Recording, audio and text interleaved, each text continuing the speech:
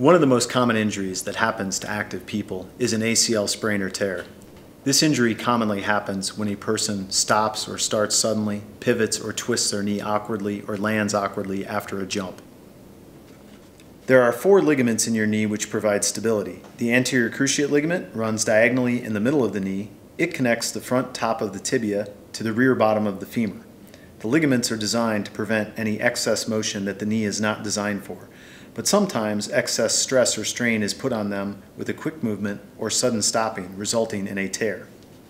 Patients that have had an ACL tear sometimes describe hearing a popping noise and have a feeling of their knee giving out. There is typically pain, swelling, and sometimes placing weight on the leg is difficult.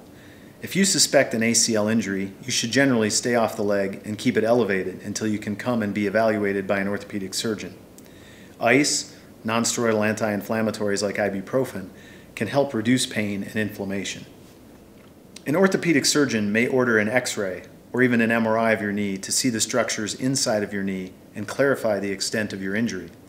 Your doctor will also perform a detailed physical examination to check all of the structures of your injured knee and oftentimes compare it to the uninjured knee. Non-surgical treatment for ACL tears can include bracing and physical therapy but a torn ACL will not repair itself. For people that wish to remain active, it will need to be reconstructed surgically. Your surgeon will recommend waiting to have the surgery until the swelling has resolved and range of motion has returned. Applying ice to the knee for 20 minutes, four to five times a day, may help with swelling, and you may see a physical therapist prior to any surgical intervention. Tissue to reconstruct the damaged ACL can be taken from the patient's hamstring tendon, quadriceps tendon, patellar tendon, or from a cadaver. This is called an allograft. Your doctor will discuss the risks and benefits and the pros and the cons to each type of graft to help you return to your active lifestyle.